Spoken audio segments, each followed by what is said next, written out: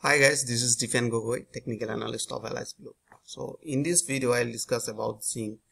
Now we can see zinc, I think uh, after many days later, I'm creating zinc, uh, I'm doing zinc analysis, right?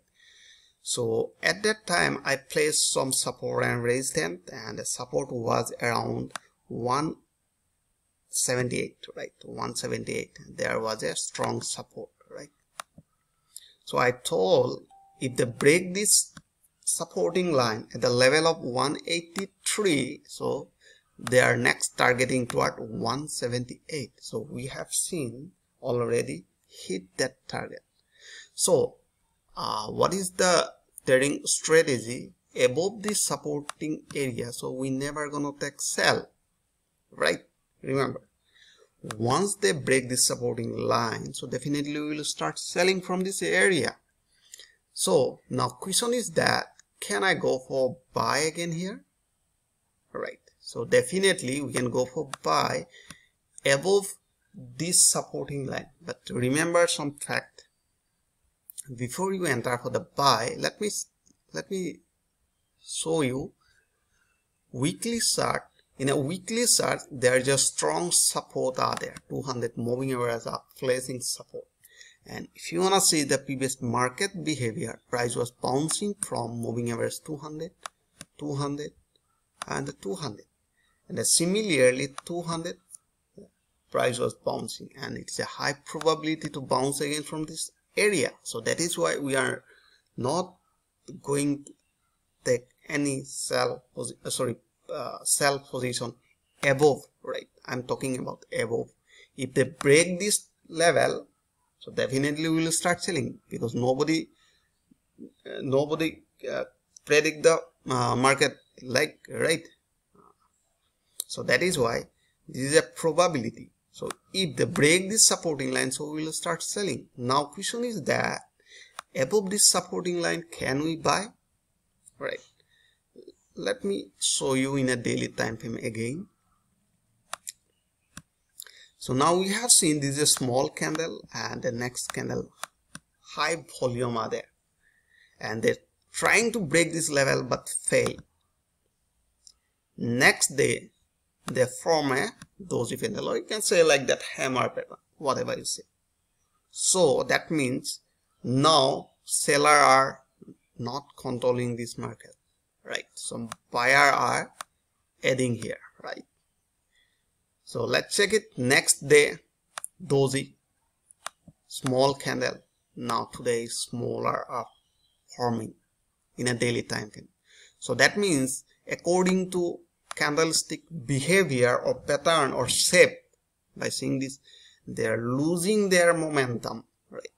They are losing their momentum. If today sell momentum increase and they break this supporting line then we'll confirm that market will fell from this area. They will break this area. And we have to find out the next supporting line. Right. So let's check it in a four hour time frame. How look like that?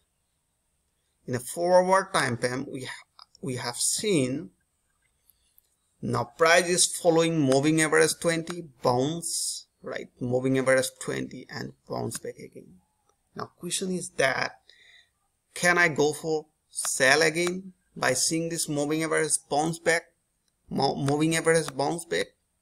The answer is no because right now price is above this strong support right? Weekly 200 moving average are there forming a support. Daily we have seen multiple rejection prices bouncing from this area bouncing. So above that area we never gonna take sell instead of price running in a downtrend right? Most of the people are and even i also uh, like always um, recommend you that when price is in a downtrend start selling. But remember when price is near supporting line we must stop selling remember. And let's check it the according the candlestick pattern. Large bearish momentum candle and after that they are reducing their momentum reducing their momentum. Right.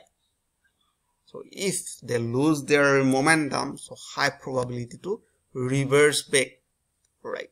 so if you want to enter for the buy what is our target? The target is our 183 next target. Now if price break uh, sorry if price not able to break if it bounce that one it will recognize as a double bottom right? Or you can say like that w pattern right? Here we have seen double bottom right? Price bounce right? So similarly here some people are start buying and some people are waiting here to break this neckline right? Both are good. But here if you want to enter here so you always place your SL just below now let's check in a small time frame like 15 minutes how look like. Now in a small time frame 15 minutes it should look like that. All right.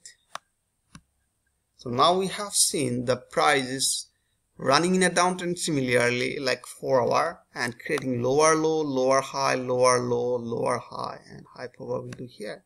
But i'm not interested. Take sell position. I told you this is a strong sorry. This is a strong supporter forming in a daily basis weekly basis. I'm interested to sell if they break this supporting line. Not now. For the buy i'm looking for to break this level. All right. Uh, if they break this 200 moving average so i'll go for buy. Because price is just rebounding from this supporting line. That is why i i'll start buying in this level and my target will be somewhere here. And some people are waiting to break this neckline right? All are good. So i hope you enjoyed this video. If you like this video please like and subscribe. Thanks for watching